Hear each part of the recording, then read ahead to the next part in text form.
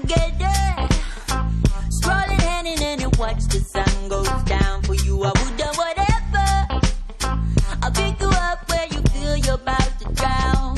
Just take.